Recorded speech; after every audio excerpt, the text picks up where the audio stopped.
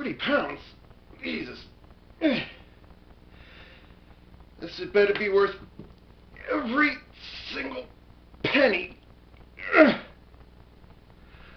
Well, at least it comes with a carrying handle.